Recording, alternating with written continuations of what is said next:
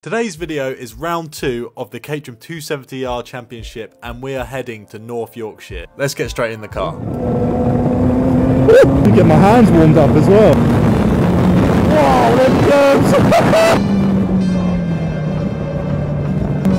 oh no! Losing the wall. This is the problem behind the scenes of a race weekend.